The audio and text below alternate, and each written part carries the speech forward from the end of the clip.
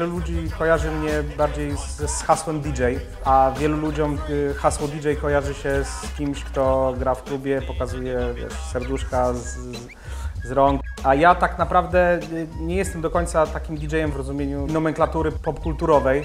Bardziej jestem turntablistą tak naprawdę niż DJ-em, bo traktuję gramofon jako y, instrument muzyczny.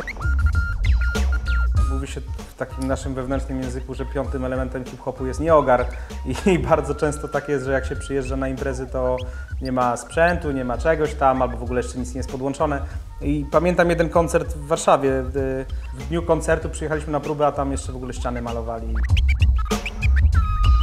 W mojej branży, w mojej pracy jest tych wyjazdów tak dużo, że czasami jak się spotykam ze znajomymi, z którymi jeździłem całą trasę, to dopiero przypominamy sobie różne takie historie. Człowiek jest cały czas w rozjazdach, tak? Trzy dni w tygodniu jeździ.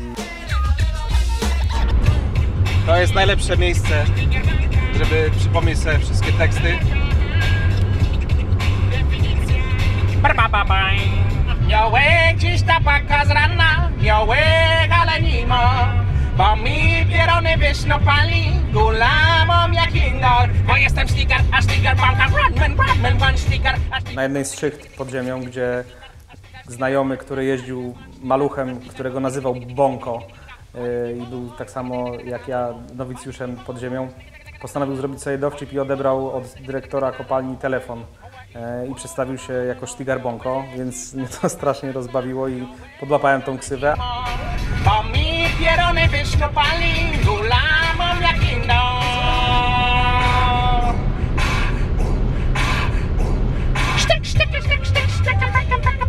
Wszystkie teksty i cała jakby pierwsza płyta, y, pomysł na tą pierwszą płytę powstał właśnie pod ziemią. Musiałem znaleźć jakiś punkt odniesienia we własnej głowie, żeby nie zwariować tam na dole. Zaczęły mi przychodzić różne ciekawe pomysły i te pomysły pieściłem, gdzieś tam dopracowywałem, aż w końcu nadszedł taki dzień, że zarejestrowałem te wszystkie pomysły i, i stąd się wzięła jakby ta postać i, i te wszystkie teksty. W rytmie funku krzyczka